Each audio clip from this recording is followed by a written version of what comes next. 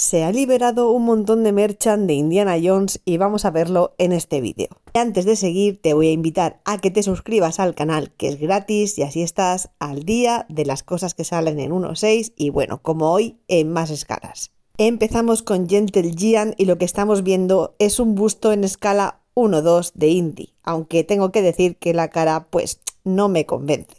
Está inspirado en Busca del Arca Perdida, tendrá una fecha estimada de salida para el cuarto trimestre de este 2023 y tiene un precio de 200 dólares en su página web. También ha presentado un ídolo dorado que medirá 8 pulgadas aproximadamente y que será una hucha. También tiene una fecha estimada de salida para el cuarto trimestre de 2023 y un precio de unos 40 dólares en su página web. Continuamos con un busto en escala 1.6 que también está inspirado en busca del arca perdida.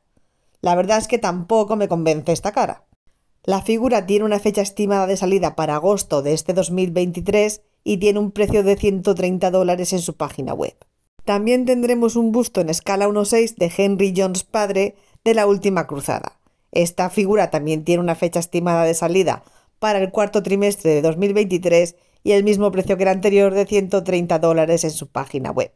También tendremos una figura en escala 1.7 de su línea Premier en resina que tendrá tres opciones para poder colocar en la mano derecha la piedra Sankara, el ídolo dorado y el santo grial.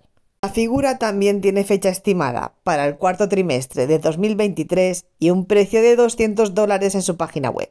También tenemos Diamond Gallery Deluxe con este diorama inspirado en Busca del Arca Perdida cuando Indy está escapando del templo del ídolo dorado. La fecha también es para el cuarto trimestre de 2023 y el precio es de 80 dólares en la página de Gentle Giant. Y rematamos con otra Diamond Gallery Deluxe, esta vez inspirada en el momento del puente de la película El Templo Maldito, también con fecha para el cuarto trimestre de 2023 y un precio de 80 dólares. Creo que esta y la anterior son las que más me gustan.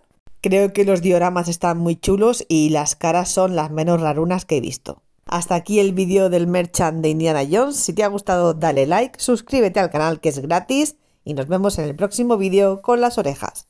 Adiós.